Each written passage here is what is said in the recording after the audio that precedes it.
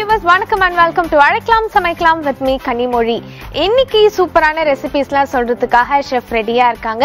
நீங்க என்னென்னலாம் ரெசிபிஸ்லாம் கேட்க போறீங்கன்னு கேட்கறதுக்கு நானும் ரொம்ப ஆவலா இருக்கேன். ஸோ நம்ம ஷோக்கு கால் பண்ணி நீங்க என்ன ரெசிபிஸ் வேணாலும் கேட்டு தெரிஞ்சுக்கலாம். அதுக்கு நீங்க டயல் பண்ண வேண்டிய number zero double four four five nine six nine five nine five நம்ம ஷோல ஷெஃப் பிரகாஷ் இருக்காங்க. வணக்கம் ஷெஃப் வணக்கம்மா எப்படி இருக்கீங்க? நல்லா இருக்கேன் ஷெஃப் நீங்க எப்படி இருக்கீங்க? ரொம்ப நல்லா இருக்குமா ஓகே ஷெஃப் இன்னைக்கு டிப் ஆஃப் தி டே என்ன சொல்ல இன்னைக்கு போறீங்க? டிப் ஆஃப் த டே என்னன்னு பாத்தீங்கன்னா நம்ம வீட்ல வத்தல் எல்லாம் வச்சிருப்போம்ல. சில டயத்துல பாத்தீங்கன்னா அது வத்தல் வந்து கொஞ்சம் நமத்து சொல்லுவாங்கல்ல. ஷெஃப் சோ அது கிறிஸ்பாவே இருக்கிறதுக்கு என்ன பண்ணணும்?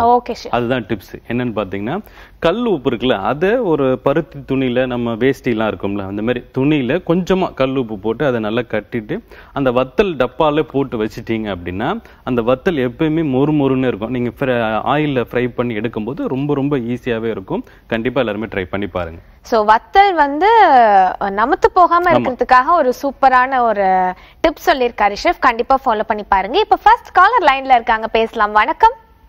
வணக்கம்மா வணக்கம் மேடம் வணக்கம். இங்க பாகூர்ல இருந்து பேசுறோம்ப்பா நாங்க வணக்கங்க. வணக்கம். உங்க பேர் சொல்லுங்க சார் வணக்கம் வணக்கம். என்- பேர் ராஜா. ராஜா. பாகூர் கிராமத்துல இருந்து பேசுறேன் ஓகே சார் எப்படி இருக்கீங்க சார் நான் நல்லா இருக்கேம்மா நான் நல்லா இருக்கேன். Okay, நீங்க சமைப்பீங்களா? நான் சமைப்பேன் எனக்கு எயிட்டி டூ நான் எல்லாம் முடிச்சு போச்சு. அந்த மாவு லட்டு ஒரு நாள் சொன்னாலுமா செஃப் அது எழுதி மறந்துட்டேன். பைத்தம்பருப்பு மாவுல லட்டு செய்யறது. ஒண்ணும் பிரச்சனை இல்ல சார் திரும்பவும் சொல்வாங்க ஷெஃப் ஷெஃப் இருக்காங்க பேசுங்க சார் ப்ளீஸ் ப்ளீஸ் சார், வணக்கம் சார். வணக்கம்மா வணக்கம் வணக்கம் தம்பி. ஒன்னில தம்பி அன்னைக்கு நீங்க பைத்தமா லட்டு சொன்னீங்க நான் கேட்டிருந்தேன் அது ஒரு ஆறு மாசம் முன்னாடி. ஆனா அது நீங்க ஃபாஸ்டா சொல்லிதான் என்னால எழுதிக்க முடியல. சரி, தயவுசெய்து இந்த பைத்தமா லட்டு செய்யறது ஒரு தடவை கொஞ்சம் மெதுவா சொன்னீங்கன்னா நான் எழுதிடுவேன் கண்டிப்பா உங்களுக்காண்டி ரொம்ப மெதுவாவே சொல்றேன்.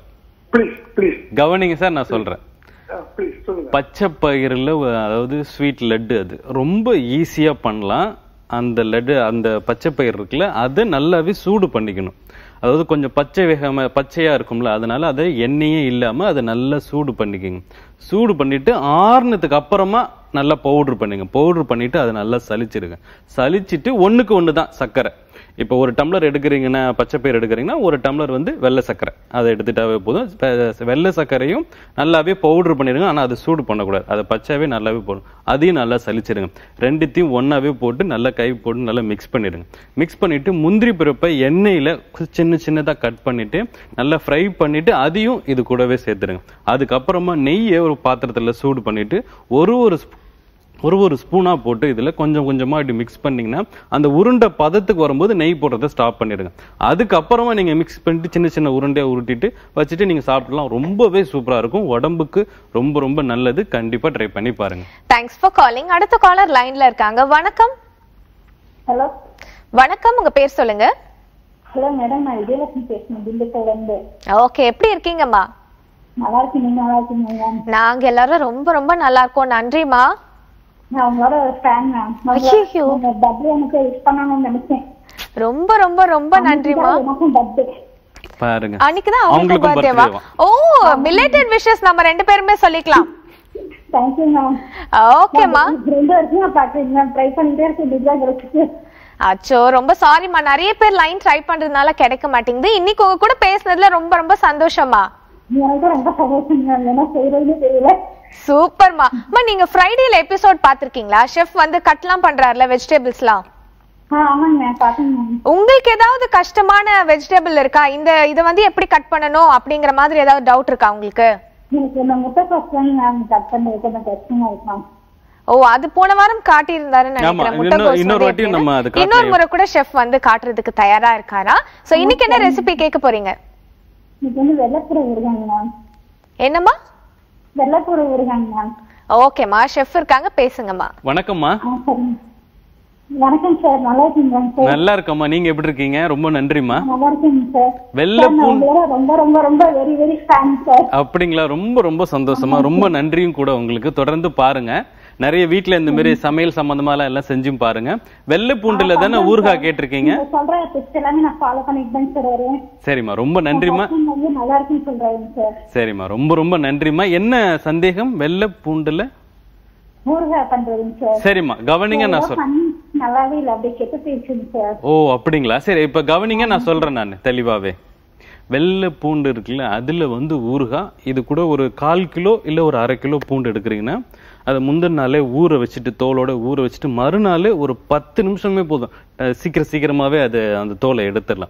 தோலை எடுத்துட்டு அதில் ஒரே ஒரு எலுமிச்சை மலத்தை ஒன்று நாலுமா கட் பண்ணாலும் சரி இல்லை குட்டி குட்டியாக கட் பண்ணாலும் சரி கட் பண்ணிவிட்டு அதில் விதைகள் இருக்கும்ல அந்த விதைகளை எடுத்துருங்க. இது தனியாக இது தனியாக இருக்கட்டும். பாத்திரத்தில் நல்லெண்ணெய் போடுங்க. ஒரு குழிக்கரண்டி அதிகமாகவே போடுங்க. அப்பதான் ரொம்பவே சூப்பராக இருக்கும். நல்லெண்ணெய் த- அந்த பாத்திரத்தில் போட்டதுக்கப்புறம் கொஞ்சம் சூடானதுக்கு அப்புறமா கடுகு ஜீரகம் வெந்தயம். கடுகு வந்து கால் ஸ்பூன்னா அதை விட ரொம்ப கம்மியாக ஜீரகம் அதை விட ரொம்ப கம்மியாக வெந்தயம். இதை தாளிச்சதுக்கு அப்புறமா இந்த பூண்டையும் போடுங்க. இந்த பூண்டை போட்டு ஒரு அஞ்சு நிமிஷம் லேசாக அந்த எண்ணெயில் வதங்கினதுக்கு அப்புறமா எலும்பிச்சம்பழமும் போட்டு ஒரே ஒரு எலுமிச்சம்பழம் சொன்னேன் அதுவும் போடுங்க. மிளகா தூள் இருக்குல்ல அது அதிகமாகவே போட்டுங்க காரத்துக்கு தகுந்த மாதிரிக்கு. கல் உப்பும் போட்டுங்க. தண்ணி இன்னும் எதுவுமே ஊற்றவேனா ஒரு பத்து நிமிஷம் இப்படி இப்படி நல்லா பெரட்டினீங்க அப்படின்னா அதோட பதம் வந்துடும் நான் ஊறுகாய்க்கு ஒரு பொடி சொல்லியிருப்பேனே கடுகு ஜீரகம் வெந்தயம் அரிசி. இது எல்லாமே ஒரு ஒரு ஸ்பூன் போட்டு தனித்தனியா போ- போட்டு வறுத்தாலும் சரி இல்ல ஒண்ணா போட்டு வறுத்தாலும் சரி. நல்லாவே சூடு பண்ணிக்கிங்க எண்ணெயே இருக்கக்கூடாது. அதை நல்லா பவுடர் பண்ணிட்டு ஆறுனதுக்கு அப்புறமா அதுலேருந்து ஒரு ஸ்பூன் லாஸ்டா போட்டு மிக்ஸ் பண்ணி இந்த ஊறுகாய் செஞ்சு பாருங்களேன். அவ்வளோ சூப்பரா இருக்கும். கண்டிப்பா ட்ரை பண்ணி பாருங்க. நம்ம ஷோட அடுத்த காலர் லைன்ல இருக்காங்க. பேசலாம். வணக்கம். வணக்கம் ஹலோ வணக்கம் ஹலோ உங்க பேர் சொல்லுங்க. வாழ்க வளமுடன். நான் துறைப்பாக்கத்துல ரேணுகா பேசுறேன். ரேணுகாமா எப்படி இருக்கீங்க? நல்லா இருக்கேம்மா. ரெண்டு பேருக்கும் உங்களுக்கு ஆசீர்வாதங்கள். ரொம்ப ரொம்ப நன்றிம்மா. உங்க ஆசீர்வாதங்கள்ல. கண்டிப்பா எங்களுக்கு என்னாலும் கொடுத்துக்கிட்டே இருங்கம்மா. நான் ஒரு சின்ன இப்ப ஐம்பது வருஷம் நான் சமைக்கிறேன். நான் காலத்து சமையலா சமைச்சுட்டு இருக்கேன். சூப்பர்மா. என் பேரனுக்கு இந்த செஃப் சொல்றதா அப்படியே நாக்குல தண்ணி விடுறது அவன் ஸ்கூல் லீவா இருக்கும்போது உங்க ப்ரோக்ராம் பார்த்து. ரொம்ப என்ஜாய் பண்ணுவான். ஐயோ ரொம்ப ரொம்ப நன்றிம்மா. ரொம்ப சந்தோஷமா இருக்குமா கேட்கும் பொழுதே. அதான் அப்புறம் கனிமொழி அக்கா யாரோ பேசுட்டு சமைக்கிற அக்கா பேசுறா பேசுவாக்கி பேச மாட்டேன்ட்டான் ஒரு நாள் போன் பண்ணுவாங்க அச்சோ ரொம்ப ரொம்ப சந்தோஷமா ஆமா இது வந்து அந்த பாஸ்தான்னு ஒண்ணு வாங்கி வச்சிருக்காமா அது ஒரு வாட்டி பண்ண கொழ கொழன்னு போயிடுச்சு. அது எப்படி பண்ணோம்? ஷெஃப் கிட்ட கேட்கணுமா ஓகேம்மா ஷெஃப் இருக்காங்க பேசுங்கம்மா. வணக்கம்மா. வணக்கம் சார். எப்படி இருக்கீங்க? நல்லா இருக்கேன். என் பேரனுக்கு வந்து உங்களோட சொல்லும் போதே நாக்கோட தண்ணி ஊறதான் சரி ஓகே. சொல்லிட்டே அதான் இந்த பாஸ்தா வாங்கி வச்சிருக்காங்க சார். எனக்கு அந்த காலத்து சமையல் தான் தெரியும். சரி. இந்த காலத்து இதெல்லாம் இந்த மசால் பொருட்கள் பண்ண தெரியாது. நாங்க பிராமின் வேற. சரி, சரி, சரி. தெரியல. அதை வாங்கி வச்சுட்டா அது எப்படி பண்ணணுங்கிறது கொஞ்சம். ஒரு வாட்டி பண்ண குழ குழன்னு போயிடுச்சு. சரிம்மா. என்ன பாஸ்தா வாங்கி வச்சிருக்காங்க? பேர் ஏதாவது தெரியுமா? தெரியல சார். நான் வர்மசிலின் இல்லைன்னா இதுல பாமினாவோ அதுவோ அது மாதிரி தான் பேக்கெட் பார்த்தேன். வெறுமஸ் இல்லீங்களா சேமியா மாதிரி இருக்குங்களா? சேமியா மாதிரி இருக்கு? அதுல ப- குழ குழலா இருக்கு. சரி சரி சரி சரி. கவனிங்க நான் இப்ப சொல்றேன். ஆ ரொம்ப நன்றிம்மா. பாஸ்தா வந்து கொஞ்சம் கொல கொலப்பா தான் இருக்கும். அது கொஞ்சம் நீங்க ட்ரையா பண்ணீங்கன்னா அது சாப்பிடுறது மாதிரி தான் இருக்கும். நீங்க ரொம்ப தண்ணியா பண்ணீங்க அப்படின்னா அது கொல கொலன்னு இருக்கும். ஈஸியா நம்ம தோசை மசாலா எப்படி பண்ணுவீங்க? அதே மாதிரி பண்ணுங்க. அதில் தக்காளி சேருங்க. தக்காளி சேர்த்துட்டு இந்த பாஸ்தாவை எண்ணெய் ஊத் அதாவது பாத்திரத்தில் தண்ணி போட்டு கொஞ்சம் எண்ணெயும் அதிலே போட்டுட்டு கொஞ்சம் கல் உப்பு போட்டுட்டு இந்த ஒரு கொதி வந்தோன்னா இந்த பாஸ்தாவை போட்டு கரெக்டாக எட்டு நிமிஷம் போதும். நீங்கள் வடிகட்டுறீங்க அந்த கொதி வந்தோன்னா அதுலேருந்து எட்டு நிமிஷம். வடிகட்டினீங்கன்னா ஒன்னோட ஒன்று ஒட்டாமல் இருக்கும். அதுக்கப்புறமா இந்த மசாலாவில் போட்டு இந்த மசாலா வந்து ரொம்ப கம்மியாக செஞ்சுக்கோங்க. இதில் சேர்த்தாவே போதும். ரொம்ப ஈஸியாக இருக்கும். ரொம்ப கொல கொலனாக இருக்குது இந்த மசாலா மசாலா எப்படின்னா பாத்திரம் கடல் எண்ணெய் போடுங்க. கடல் எண்ணெய் போட்டு இஞ்சி பூண்டு ஃபர்ஸ்டே போட்டு வதக்கிடுங்க இல்லைன்னா வெறும் பூண்டு கூட போட்டுக்கலாம். நல்லா போட்டு வதக்கிட்டு அதுக்கப்புறமா வெங்காயம் வெங்காயம் நல்லா வதங்கினதுக்கு அப்புறமா ஒரே ஒரு பச்சை மிளகாய் கொத்தமல்லி. அதுக்கப்புறமா கொஞ்சமாக மிளகாத்தூள் கூட போட்டுக்கலாம். காரம் பத்தல அப்படின்னா மிளகாத்தூள் போட்டால் ஒரு அரை டம்ளர் தண்ணி ஊற்றி ஒரு அஞ்சு நிமிஷம் அந்த வெங்காயம்லாம் போட்டிருக்கோம்ல ஒரு அஞ்சு நிமிஷம் இப்படி சமைச்சிங்கன்னா அந்த திக்கான மசாலா வந்துடும் அதுக்கப்புறமா பாஸ்தா நம்ம இங்கே எண்ணெய் ஊற்றி கொதிக்க வச்சு வடிகட்டி வச்சிருக்கோம்ல எட்டு நிமிஷம் வேக வச்சதுக்கப்புறம். அது இது கூட சேர்த்துட்டு நல்லாவே மிக்ஸ் பண்ணிங்கன்னா ரொம்ப ட்ரையாகவே ஆகிடும் கண்டிப்பாக ட்ரை பண்ணி பாருங்க. ரொம்ப சூப்பராகவே வரும். தேங்க்ஸ் ஃபார் காலிங் அடுத்த காலர் லைனில் இருக்காங்க. வணக்கம். வணக்கம். வணக்கம் உங்க பேர் சொல்லுங்க. ஹலோ அம்மா உங்க டிவி வால்யூம் குறைச்சிட்டு பேசுங்க உங்க பேர் சொல்லுங்கம்மா. ஹலோ சாந்தி வணக்கம்மா உங்க பேர் சொல்லுங்க. சாந்தி அம்மா எங்க இருந்து கால் பண்றீங்க ஓகே எப்படி இருக்கீங்கம்மா? நல்லா இருக்கேங்க. ஓகே சாப் இருக்கீங்க? நாங்க எல்லாரும் ரொம்ப ரொம்ப நல்லா இருக்கோம்மா. சாப்பிட்டாச்சுங்களா?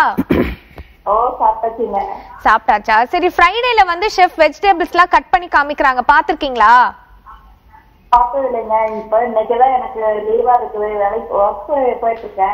ஓ சரி உங்களுக்கு ஏதாவது வெஜிடபிள்ஸ் கட் பண்றதுக்கு கஷ்டமா இருக்குங்களா? எல்லாமே சூப்பரா கட் பண்ணிடுங்க. அப்ப இவங்க கிட்ட அந்த கேள்வி கேட்டுக்கூடாதுன்னு நினைக்கிறேன் ஷெஃப் என்ன ரெசிபிமா கேட்க போறீங்க? எனக்கு மாவு இட்லி ஊத்துனா கரெக்டா வரமாட்டேங்குது. அது என்னன்னு கேட்கலாம் அப்படின்னு. சரிங்கம்மா. ஷெஃப் இருக்காங்க. பேசுங்கம்மா. வணக்கம்மா. சரி ஓகே ஆ சொல்லுங்க சார் அஹ் எப்படிம்மா இருக்கீங்க? நல்லா இருக்கம்மா. என்ன? எனக்கு இட்லி மாவு கரெக்டா வர மாட்டேங்குது எப்படின்னு சொல்லி கேட்கலாங்க சார் இட்லி மாவு ரொம்ப அந்த தட்டுல ஊத்துனா கொஞ்சம் தண்ணி மாதிரி இருக்கு. அப்படியே கெட்டியா இருக்க மாட்டேங்குது இல்லையா? சார் எனக்கு வத்தி போகுதுங்க சார் அப்படியே. உள்ள போயிடுச்சு. புரி- புரியலம்மா. இட்லி மாவு உள்ள போயிடுதுங்களா? சரிம்மா கவனிங்க நான் இப்ப நான் சொல்றேன் இட்லி மாவு. இட்லி மாவு ஆ சரிம்மா. இப்ப நான் சொல்லலாம்னு நினைக்கிறேன். இட்லி மாவு பார்த்தீங்கன்னா நீங்க உளுந்து அரைப்பீங்களே உளுந்து அரைக்கும் போது அதாவது ஒரு கிலோ அரிசிக்கு முந்நூறு கிராம் உளுந்து. அது வந்து பச்சை அரிசி எடுத்துங்க இல்லை இட்லி அரிசி எடுத்துக்கிட்டிங்கனாவே ரொம்பவே சூப்பராகவே இருக்கும். ஒரு கிலோ அரிசிக்கு முந்நூறு கிராம் உளுந்து. ரெண்டுமே தனித்தனியாக நல்லா கழுவிட்டு ஊற வச்சிருங்க. ஒரு மணி நேரம் ஊறலாம் இல்லை அரை மணி நேரம் கூட ஊறலாம். அது கட்டி ரெடி ஆகிடும் அரிசியை நம்ம வந்து ரவை எப்படி இருக்குது அந்த குறை குறைன்னு இருக்கு பாருங்கள் அந்த பதத்துக்கு தண்ணி ஊற்றி அரைச்சி வச்சுங்க. ரொம்பவே திக்காகவே இருக்கட்டும். இந்த உளுந்து அரைக்க போகும்போது அந்த அரிசியை அரைச்சி எடுத்ததுக்கப்புறமா இந்த உளுந்து அரைக்கிறீங்களே இந்த உளுந்து அரைக்கும் போது வடைக்கு எப்படி திக்காக நம்ம அரைப்போம் அந்த மாதிரி அரைங்க. அரைக்க போகும்போது கொஞ்சமாக ஐஸ் தண்ணி இருக்குல்ல அது கொஞ்சமாக தெ- தெளிச்சிட்டு இப்படி பண்ணீங்க அப்படின்னா ரொம்ப கெட்டியாக இருக்கும். இந்த உளுந்து மாவு வந்து சூடாகாது. உளுந்து மாவு ரொம்ப சூடாச்சுன்னா இட்லி சரியாகவே வராது. அதுக்கப்புறமா இந்த மாதிரி அரைச்சி எடுத்துங்க ஐஸ் ஊற்றி அரைச்சி எடுத்ததுக்கு அப்புறமா கல் உப்பு போட்டு நல்லாவே மிக்ஸ் பண்ணிடுங்க. அதுக்கப்புறம் நீங்கள் மிக்ஸ் பண்ணவே கூடாது. இந்த கல் உப்பு போட்டு மிக்ஸ் பண்ணிட்டு ஒரு டப்பால பெரிய டப்பாவில் வச்சிருங்க. மறுநாளே நீங்கள் இட்லி துணியில் தானே போடுவீங்க. அந்த இட்லி துணி அந்த இட்லி பானை இருக்குல்ல அந்த தண்ணி சூடானதுக்கு அப்புறமா இட்லியை வச்சாவே போதும். அதாவது இட்லி மாவு வச்சாவே போதும். ரொம்ப சூப்பராக இருக்கும். இந்த இட்லி மாவு ரெடி நேற்றே மிக்ஸ் பண்ணி வச்சிருக்கோம்ல அதை மேலாம்பில் தான் எடுக்கணும். நீங்கள் திரும்பவும் மிக்ஸ் பண்ணிங்கன்னா அந்த புளிச்சு புதலை எல்லாமே கீழே இறங்கிடும். இட்லி வந்து ரொம்ப கல் மாதிரி வரும் கண்டிப்பா ட்ரை பண்ணி பாருங்க. தேங்க்ஸ் ஃபார் காலிங் அடுத்த காலர் லைன்ல இருக்காங்க. வணக்கம். அப்பாடி பயங்கரமா சவுண்ட் எல்லாம் கேக்குதே. வணக்கம். வணக்கம். வணக்கம். உங்க பேர் சொல்லுங்க. என் பேர் மாலதிங்க. மாலதியம்மா எங்க இருந்து கால் பண்றீங்க சேலத்துல இருந்து பண்றேங்க. சேலம்ல இருந்து கால் பண்ணிருக்கீங்க. எப்படி இருக்கீங்கம்மா? நான் நல்லா இருக்கிறேங்க. நீங்க நல்லா இருக்கீங்களா நாங்க எல்லாரும் ரொம்ப ரொம்ப நல்லா இருக்கோம்மா.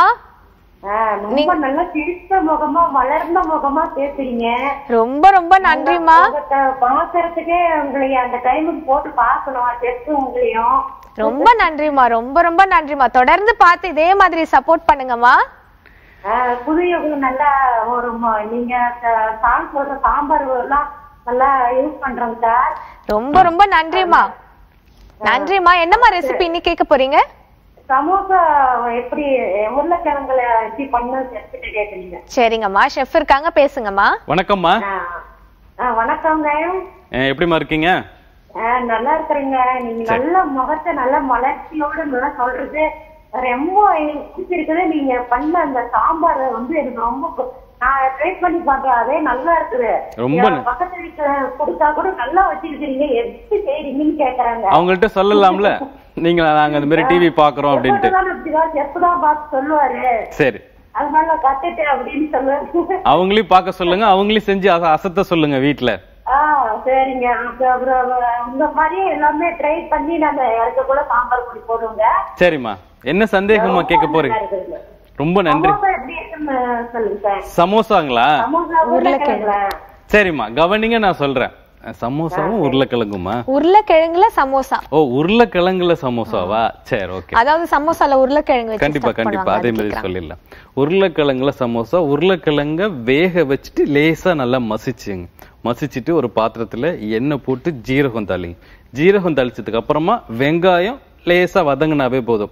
இந்த உருளைக்கிழங்கை விட வெங்காயம் ரொம்ப கம்மியாக இருக்கும். ஒரு வெங்காயம் எடுக்கிறீங்கன்னா மூணு உருளைக்கிழங்கு. அந்த மாதிரி எடுத்துங்க பாத்திரம் எண்ணெய் ஜீரகம் தாளிக்கிறீங்க அதுக்கப்புறமா வெங்காயம். வெங்காயம் நல்லா வதங்கினதுக்கு அப்புறமா இஞ்சி பூண்டு விழுது இஞ்சி பூண்டு விழுது போட்டோன்னே லேசாக வ- வதங்கினதுக்கு அப்புறமா அதிலே மிளகாத்தூள் அதிகமாக தனியாத்தூள் ரொம்ப ரொம்ப கம்மியாக மிளகாத்தூள் காரத்தூள். கொஞ்சமாக மஞ்சத்தூள் ஒரு பிஞ்ச் அளவு கரம் மசாலா தூள். தண்ணி இன்னி எதுவுமே ஊத்தாமனா எண்ணெய் மட்டும் கொஞ்சம் அதிகமாக ஊற்றி நல்லா ஊற்றி அதிலே போட்டு வதக்கிடுங்க வதங்கினதுக்கு அப்புறமா உருளைக்கிழங்கு நம்ம வேக வச்சு கொஞ்சம் ஓரளவு மசிச்சு வச்சுருக்கோம்ல அதுவும் இது கூட போட்டு அப்படியே ஒரு பத்து நிமிஷம் அந்த மாதிரி நல்லாவே மிக்ஸ் பண்ணீங்கன்னா உப்பும் போட்டுங்க. மிக்ஸ் பண்ணீங்கன்னா அவ்வளோ சூப்பராக இருக்கும். அதில் கொத்தமல்லி கருவேப்பிலை அதெல்லாம் போட்டிங்கன்னா இன்னும் ரொம்ப சூப்பராகவே இருக்கும். இதை விட இன்னும் கொஞ்சம் அதிகமாக சூப்பராக இருக்கணும் அப்படின்னா புதினா இருக்குல்ல புதினாவும் பிச்சு போட்டு அதிலே போட்டு வதக்குனீங்கன்னா அவ்வளோ சூப்பராக இருக்கும். கண்டிப்பாக ட்ரை பண்ணி பாருங்க. நம்ம ஷோட அடுத்த காலர் லைன்ல இருக்காங்க. வணக்கம். வணக்கம் வணக்கம். உங்க பேர் சொல்லுங்கம்மா. என்ன பேருமா? சுஜாதா மேடம். சுஜாதாங்களா? ஆமா. ஓ எப்படி இருக்கீங்கம்மா? நல்லா இருக்கேன் உங்க ஷோ பார்க்க ரொம்ப ரொம்ப பிடிக்கும். ரொம்ப நன்றிம்மா. தொடர்ந்து பார்த்து இதே மாதிரி சப்போர்ட் பண்ணுங்கம்மா. ஐயோ ரொம்ப சாரிம்மா நிறைய பேர் லைன் ட்ரை பண்றதுனால கிடைக்க மாட்டேங்குது. இன்னைக்கு உங்க கூட பேசுனதுல ரொம்ப ரொம்ப சந்தோஷம்மா. சார் இருக்காங்க. பேசுங்கம்மா. வணக்கம்மா. ஆ ஆ வணக்கம். சார் சிக்கன் பிரியாணி எனக்கு டேஸ்ட் ரொம்ப வரமா டேஸ்ட் வர மாட்டேது சிக்கன் பிரியாணி ஆமா சார் சரிம்மா பாஸ்மதி அரிசியில பண்ணீங்களா? இல்ல வீட்ல ஜீரக சம்பா அரிசி இல்ல நம்ம சாப்பாட்டு அரிசி இருக்கு? அதுல பண்ண சாப்பாட்டு பச்சரிசியில் பண்ணா அந்த டேஸ்ட் வர மாட்டேது இல்லைங்களா கவனிங்கம்மா நான் சொல்றேன். வீட்டில் வந்து சாப்பாட்டு அரிசி இருக்குல்ல அதில் கூட பிரியாணி பண்ணலாம். ரொம்பவே சூப்பராக இருக்கும். பச்சை அரிசிலையும் பண்ணலாம். புழுங்க அரிசிலையும் பண்ணலாம். நீங்கள் பிரியாணி பண்ணும்போது வெங்காயத்தாள் கடைகளில் கிடைக்கும். அது கொஞ்சம் அதில் சேர்த்து பாருங்களேன் நல்லா நைஸாக கட் பண்ணிவிட்டு அந்த பச்சை இருக்கும்ல அந்த பச்சையை மட்டும் ஓரளவு கட் பண்ணிவிட்டு முக்கால்வாசி வெங்காயம் அந்த வெங்காயத்தாள் ரெண்டுமே நல்லாவே நைஸாக கட் பண்ணிடுங்க. ஒரு மூணு வெங்காயத்தாள் இல்லை ஒரு நாலு வெங்காயத்தாள். அந்த மாதிரி எடுத்துட்டு நல்லா நைஸாக கட் பண்ணிட்டு வெங்காயம் வதக்குறீங்களா அப்போவே இதுவும் அது கூட போட்டு வதக்கிடுங்க. வதக்கிட்டு இஞ்சி பூண்டு விழுது நான் ஒரு மசாலா சொல்கிறேன் பாத்திரம் எண்ணெய் ஜீரகம் தாளிக்கிறீங்க சிக்கன் பிரியாணி இருந்தால் ஜீரகம் தாளிச்சதுக்கப்புறமா அதுக்கப்புறமா வெங்காயம். வெங்காயமும் போட்டதுக்கப்புறமா இந்த வெங்காய தாள் இருக்குல்ல இதுவும் அது கூட போட்டு வதக்கிடுங்க. நல்லா வதங்கினதுக்கு அப்புறமா இஞ்சி பூண்டு விழுது அதுக்கப்புறமா தக்காளி. வெங்காயம் அதிகமாக இருக்கணும் தக்காளி கம்மியாக இருக்கணும். இப்போ ஒரு போல் வெங்காயம் எடுக்கிறீங்க அப்படின்னா அரை போல் தக்காளி இருந்தாவே போதும். இதெல்லாம் நல்லா வதங்கினதுக்கு அப்புறமா ஒரு ஸ்பூன் மிளகாத்தூள் ரெண்டு ஸ்பூன் தனியாத்தூள் கொஞ்சமாக மஞ்சத்தூள் கொஞ்சமாக கரம் மசாலா தூள். அதுக்கப்புறமா தயிர். தயிர்லாம் அதில் போட்டு நல்லா வதங்கினதுக்கு அப்புறமா புதினா அதிகமாக இருக்கணும் கொத்தமல்லி ரொம்ப ரொம்ப கம்மியாக இருக்கணும். கொத்தமல்லி இல்லைனாலும் பரவாயில்ல. இதெல்லாம் வதங்கினதுக்கு அப்புறமா சிக்கனை போடுங்க. சிக்கனை போட்டு தண்ணி இன்னி எதுவுமே ஊற்ற வேணாம். ஒரு அஞ்சு நிமிஷம் மிக்ஸ் பண்ணிங்களாவே அதுலேருந்து சிக்கனில் அந்த தண்ணி வந்துடும் அந்த தண்ணியிலே அது நல்லாவே குக் ஆகிடும் குக் ஆனதுக்கு அப்புறமா ஒரு அஞ்சு நிமிஷம் கழிச்சு நீங்க அரிசியோட தண்ணி வச்சிருப்பீங்களா பதம் வச்சிருப்பீங்களா மூணு கிளாஸோ இல்ல ரெண்டு கிளாஸோ அது ஊத்தி திரும்பவும் ஒரு அஞ்சு நிமிஷம் கொதிக்க விடுங்க. நல்லா ரெடி ஆயிடும். அந்த பச்சை வேகம்லாம் போயிடும். அதுக்கப்புறமா அரிசி அரை மணி நேரம் ஊற வச்சிருப்போம்ல அதுவும் இது கூட போட்டு ஒரு திரும்பவும் ஒரு அஞ்சு நிமிஷம் வதக்குனீங்க அப்படின்னா நல்லா திக்காயிடும் அந்த டயத்துல மூடி போற டயத்துல கொஞ்சமா கரம் மசாலா தூள் திரும்பவும் புதினா கொஞ்சமா நெய் போட்டுட்டு மூடி போட்டுட்டு திரும்பவும் ஒரு பத்து நிமிஷம் விடுங்க. அதுக்கப்புறமா ஸ்டவ் ஆஃப் பண்ணிட்டு திரும்ப ஒரு பத்து நிமிஷம் கழிச்சு ஓபன் பண்ணி பாருங்களேன் அவ்வளவு சூப்பரா இருக்கும். கண்டிப்பா ட்ரை பண்ணி பாருங்க. தேங்க்ஸ் ஃபார் காலிங் அடுத்த காலர் லைன்ல இருக்காங்க. வணக்கம். வணக்கம். ஹலோ வணக்கம் மேடம் வணக்கம் சார் உங்க பேர் சொல்லுங்க. என் பேர் ஜெயக்குமார். சென்னை சென்னை கொடுங்கியர்ல இருந்து பேசுறேன் மேடம் ஓகே எப்படி இருக்கீங்க சார் நல்லா இருக்கேன் மேடம். உங்க ப்ரோக்ராம் ரொம்ப நல்லா இருக்கு மேடம். ரொம்ப ரொம்ப நன்றி சார் நீங்க ரெசிபிஸ்லாம் ட்ரை பண்ணிருக்கீங்களா? ஷோ பார்த்துட்டு? ஆ நானு அம்மா என் மிஸ்ஸஸ் எல்லாரும் பார்ப்போம் இந்த ஷோவை ரெகுலரா பார்த்துட்டு தான் இருக்கோம். ரொம்ப ரொம்ப ரொம்ப நன்றி சார் தொடர்ந்து பார்த்து இதே மாதிரி சப்போர்ட் பண்ணுங்க. என்ன ரெசிபி கேட்க போறீங்க இன்னைக்கு? இன்னும் அவர் ஷெஃப் பேசுறது நல்லா தெளிவாவும் நல்ல துல்லியமா நல்லா நிதானமா எல்லாருக்கும் புரியுற வகையில அருமையா இருக்கு. ரொம்ப நன்றி சார் ஷெஃப் இருக்காங்க பேசுங்க. சார் வணக்கம் ஜெயக்குமார். எப்படி இருக்கீங்க? சார் நல்லா இருக்கேன் சார். எப்படி சார் இருக்கீங்க? நல்லா இருக்கு உங்களுக்கு சமையல்ல இன்ட்ரெஸ்ட் இந்த இந்த ப்ரோக்ராம்ல ஹைலைட் நீங்க பேசுற வார்த்தை தெளிவு நிதானம் எல்லாமே ரொம்ப கிளியரா இருக்கு சார். எல்லாரும் ஈஸியா புரிஞ்சுப்பாங்க நீங்க சொல்றது. அந்த அளவுக்கு இருக்கு. ரொம்ப நன்றி. நானு மிஸ்ஸஸ் அம்மா எல்லாரும் பார்ப்போம் ப்ரோக்ராம் சரிங்க சார். ரொம்ப நன்றி சார். தொடர்ந்து பாருங்க ஓகே சார். சொல்லுங்க. இப்போ வந்து கோல்டு அதிகமாயிடுச்சு. இந்த தூதுவளை இருக்கு பாத்தீங்களா? ஆமா.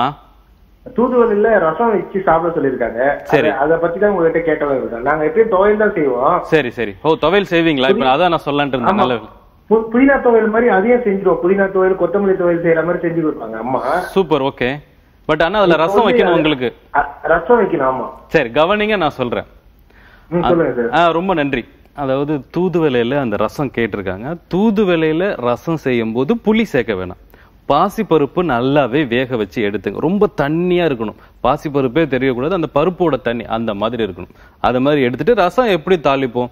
அதே மாதிரியே தாளிச்சு தூதுவலையை அரைச்சும் சேர்க்கலாம். இல்லை நம்ம கையாலே அதை பிச்சு போட்டுட்டு கொஞ்சம் முள்ளு இருக்கும் இல்லை கட் பண்ணி கூட நீங்கள் போட்டு அதிலே போட்டு வதக்கிடுங்க பாத்திரம் கடலெண்ணெய் போடுறீங்க. கடுகு ஜீரகம் வெந்தயம். அதுக்கப்புறமா பூண்டு தட்டின பூண்டு அதோட போட்டுருங்க.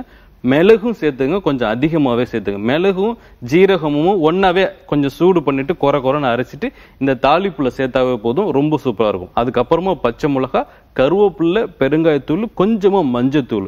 அதுக்கப்புறமா அந்த பருப்பு தண்ணி வச்சிருப்போம்ல நல்ல நெய் வேக வச்சுட்டு அது பருப்பே தெரியாம வெறும் தண்ணி மட்டும் இருக்கும். அந்த மாதிரி அது இது கூட சேர்த்துருங்க. அதுக்கப்புறமா தூதுவளை சேருங்க தூதுவளை சேர்த்து ஒரு ஒரு ஒரே ஒரு கொதி மட்டும் வந்தாவே போதும். அந்த கொதி வந்தோடனே பெருங்காயத்தூள் போட்டு மூடி வச்சிருங்க. கல் உப்பும் அதிலே போட்டுருங்க உப்புக்கு தகுந்த மாதிரிக்க. அவ்வளோ சூப்பரா இருக்கும். ஒரு பத்து நிமிஷம் கழிச்சு நீங்க சாப்பிட்டீங்க அப்படின்னா ரொம்ப ரொம்ப சூப்பராகவே இருக்கும். கண்டிப்பா ட்ரை பண்ணி பாருங்க. தேங்க்ஸ் ஃபார் காலிங் அடுத்த காலர் லைன்ல இருக்காங்க. வணக்கம். வணக்கம். ஹலோ வணக்கம். வணக்கம்மா உங்க பேர் சொல்லுங்க. நான் கலைப்பிரியாங்க மேம் சென்னையில இருந்து கால் பண்றேன். கலைப்பிரியா எப்படி இருக்கீங்கம்மா? ஆ நல்லா இருக்கேங்க மேம். நான் இப்போ ஒரு நாலஞ்சு மாசமாவே ட்ரை பண்றேன். இன்னைக்கு தான் கிடைச்சிருக்கு. அச்சோ ரொம்ப சாரிம்மா நிறைய பேர் லைன் ட்ரை பண்றதுனால கிடைக்க மாட்டேங்குது. சாரி தப்பா நினைச்சுக்காதீங்க. இன்னைக்கு உங்க கூட பேசுனதுல ரொம்ப ரொம்ப சந்தோஷம்மா. Thank you ma'am. ஷோ தொடர்ந்து பார்த்திருக்கீங்களா? ரெசிபிஸ்லாம் ட்ரை பண்ணிருக்கீங்களா? ட்ரை பண்ணிருக்கேங்க மேம். நான் இப்போ டூ இயர்ஸாவே இருக்கோம் ஓ சூப்பர்மா இன்னைக்கு என்னம்மா ரெசிபி கேட்க போறீங்க? ப்ரான்ல ஏதாவது என்னங்கம்மா? ப்ரான் ப்ரான் எப்படி செய்யறதுன்னு கேக்குறீங்க. ஓகேம்மா ஓகேம்மா ஷெஃப் இருக்காங்க. பேசுங்கம்மா. வணக்கம்மா. வணக்கம் சார் எப்படிம்மா இருக்கீங்க? நல்லா இருக்குங்க சார் உங்க டிஷ் எல்லாமே எங்க அப்பாவுக்கு தான் சார் ரொம்ப பிடிக்கும். ஓ உங்க அப்பாக்குங்களா? சொல்ற மாதிரியே செய்ய சொல்லுவாங்க. அப்படிங்களா? சரிம்மா சரிம்மா. ரொம்ப நன்றிம்மா. இன்னைக்கு என்ன சமையல்மா வீட்ல? வீட்ல இன்னைக்கு பருப்பு சாதம் சார் ஓ பருப்பு சாதங்களா? நீங்க எறா இது வரைக்கும் செஞ்சதே இல்லைங்களா? நான் செஞ்சதே இல்லைங்க சார். இதான் ஃபர்ஸ்ட் டைமா ட்ரை பண்ண போறீங்க. ஒரு பொரியல் மாதிரி சொல்லட்டுமா? இல்ல ஒரு மசாலா சொல்லட்டுமா? இல்ல ஒரு குழம்பா சொல்லட்டுமா அப்போ ஒரு மசாலா மாதிரி சொல்றேன். வெங்காயம் தக்காளி மசாலா மாதிரி. ரொம்பவே சூப்பரா இருக்கும். வெங்காயம் தக்காளி மசாலா மாதிரிக்கே எறா மசாலா கேட்டிருக்காங்க. ரொம்ப சூப்பரா இருக்கும். தக்காளி கம்மியா எடுத்துங்க. வெங்காயம் அதிகமா இருக்கணும். இப்போ ஒரு போல் வெங்காயம் எடுக்கிறீங்கன்னா அரை போல் தக்காளி. அந்த இதுல பாத்திரம் எண்ணெய் சோம்பு தாளிக்கிறீங்க. வெங்காயம் இது கூட வந்து சின்ன வெங்காயம் சேர்த்திங்கன்னா இன்னும் ரொம்ப சூப்பராகவே இருக்கும். இதெல்லாம் போட்டு வதக்கிடுங்க பாத்திரம் எண்ணெய் சோம்பு தாளிக்கிறீங்க. அதுக்கப்புறமா வெங்காயம் நைஸாக கட் பண்ணது. அதெல்லாம் நல்லா வதங்கினதுக்கு அப்புறமா இஞ்சி பூண்டு விழுது. இஞ்சி பூண்டு விழுது நல்லா வதங்கிடணும் அதுக்கப்புறமா தக்காளி. தக்காளி நல்லா நைஸாக கட் பண்ணி இந்த தக்காளி இதில் தெரியவே கூடாது இந்த எண்ணெயில். அந்த அளவுக்கு நல்லா வதங்கினதுக்கு அப்புறம் ரெண்டு ஸ்பூன் தனியாத்தூள் ஒரு ஸ்பூன் மிளகாத்தூள் கொஞ்சமாக மஞ்சத்தூள் ஒரு பிஞ்சளவு மிளகு தூளும் போட்டுங்க. ஒரு அரை டம்ளர் தண்ணி ஒரு அஞ்சு நிமிஷம் கொதிக்க விடுறீங்க. அது அது ஒரு மசாலா மாதிரி கொஞ்சம் எண்ணெயெல்லாம் மேலே வந்துடும் அதுக்கப்புறமா எறா. எறா போட்டு ஒரு பத்து நிமிஷம் அஹ், அது நீங்க போட்டு வதக்கினாவே போதும். ரொம்ப நேரம் வதக்குனீங்க அப்படின்னா கெட்டியாயிடும். இறக்க போகும்போது கருவேப்பிலை கொத்தமல்லி கொஞ்சமா நெய் கண்டிப்பா ட்ரை பண்ணி பாருங்க. ரொம்ப சூப்பரா இருக்கும். தேங்க்ஸ் ஃபார் காலிங் சூப்பரான ரெசிபிலாம் எங்களுக்கு சொன்னதுக்கு ரொம்ப ரொம்ப நன்றி ஷெஃப் கால் பண்ண எல்லா வியூவர்ஸ்க்கும் ரொம்ப ரொம்ப நன்றி. கால் கிடைக்காத வியூவர்ஸ்க்கு சாரி தொடர்ந்து கால் பண்ணுங்க. Line- கண்டிப்பா லைன் கிடைக்கும். இதே மாதிரி வேற ஒரு இன்ட்ரெஸ்டிங்கான எபிசோட்ல சந்திக்கிறேன். This is Kanimozhi signing off நாளைக்கலாம் சமைக்கலாம்.